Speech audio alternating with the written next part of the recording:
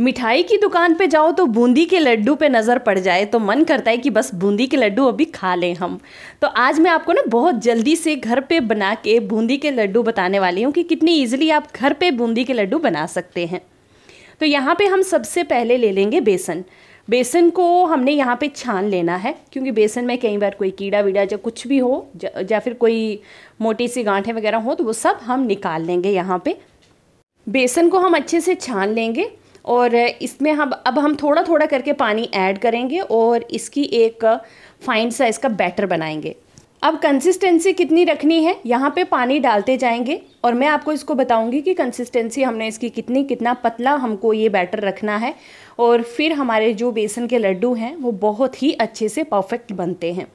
तो यहाँ पे देखिए, इस तरह से मैंने इसको बनाया है और कंसिस्टेंसी आप चेक कर सकते हैं, इस तरह से फ्लोइंग कंसिस्टेंसी होनी चाहिए। चलिए, अभी हमारा जो बैटर है, उसको हमने रेस्ट करने छोड़ दिया है दस मिनट के लिए। और यहाँ पे मैंने कढ़ाई में तेल डाल दिया तब तक तेल गर्म हो जाएगा। और देखिए, अब हमारा जो बैटर है, इसको मुझे दस पंद्रह मिनट हो गए रखे हुए। तो चलिए, अभी बूंदी निकालना स्टार्ट करते हैं।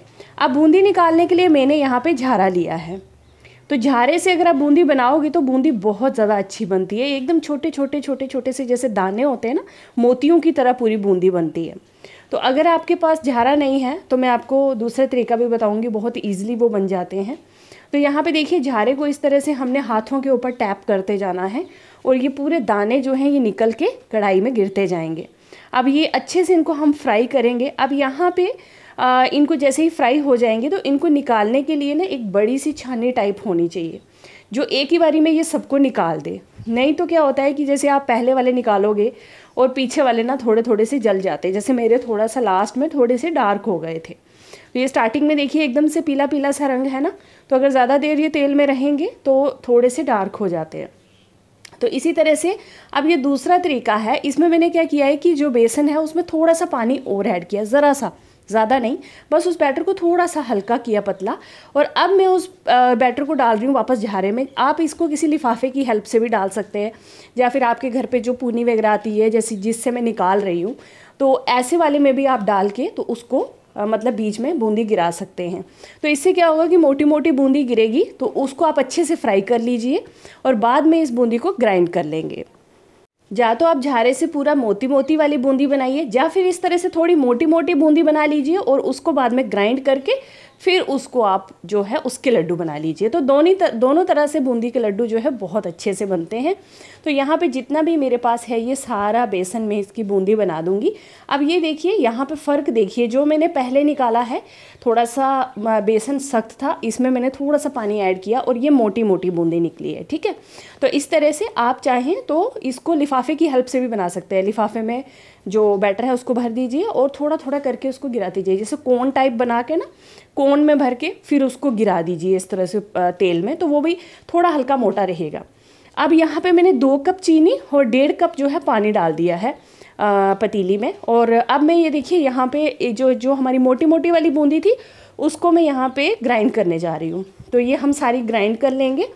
और यहाँ पे देखिए चाशनी में मैं थोड़ा सा कलर डाल रही हूँ ऑरेंज कलर, और साथ में ही यहाँ इलायची डाल देंगे तीन चार पीस के। और हमारा जो ये चाशनी है, इसको थोड़ी देर और बॉयल होने देंगे। इसमें हमें कोई तार नहीं बनाना होता है, कुछ नहीं करना है, बस जस्ट हमको एक थोड़ी सी गाढ़ी चाशनी बनानी है। अब उसके बाद यहाँ पे देखिए ये जो दाने दाने वाली बूंदी है, सबसे पहले इसको डाल दिया है मैंने। अगर आप ये नहीं बना सकते, आप दूसरे तरीके से ग्राइंड करके बनाएँगे तो भी लड्डू बहुत अच्छे बनते हैं। अब ये ग्राइंडेड वाली है जो उसको डाल देंगे और इसको भी बीच में मिक्स करेंगे। अब पतीले के बीच में इनको हमने इस तरह से चला देना है और थोड़ी देर के लिए इनको ढक के छोड़ देना है। अच्छे से चाशनी की चाशनी जो है वो पूरी बूंदी के बीच में आ, मिक्स हो जाएगी और बूंदी जो है पूरी चाशनी को पी लेगी अच्छे से। तो इस तरह से इसको रेस्ट करने छोड़ देंगे और रेस्ट करने के बाद आप देखिए ये जो हमारा मिक्सचर है कितने अच्छे से सख्त हो गया है।